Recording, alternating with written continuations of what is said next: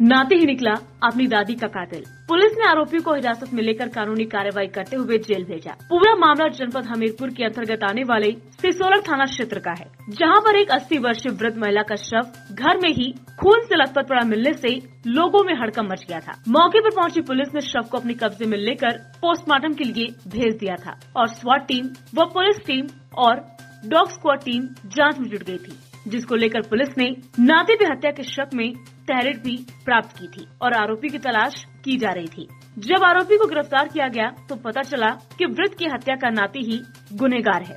एक दूसरे से खुंदक में आरोपी पोते ने अपनी दादी कातारू के नशे में हँसी से कई बार प्रहार करके कत्ल कर दिया और मौके से फरार हो गया था। पुलिस ने आरोपी को हिरासत में लेकर कानूनी कार्रवाई करते हुए जेल भेज दिया है। वहीं घटना का खुलासा करने वाली पुलिस टीम का भी उत्साहवर्धन किया गया। मृतका सुखिया पत्नी स्वर्गीय सुदर्शन।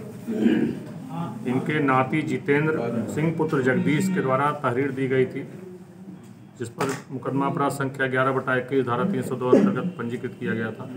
इसी के सौतेले नाती, मृतका के सौतेले नाती शैलेंद्र उर्फ़ चिक्की, पुत्र स्वर्गीय राजा भैया द्वारा उसकी हत्या किए जाने की आशंका है। इस पर मुकदमा पंजीकृत किया गया था, पोस्टमार्टम पंचायतनामा पोस्टमार्टम कराया गया।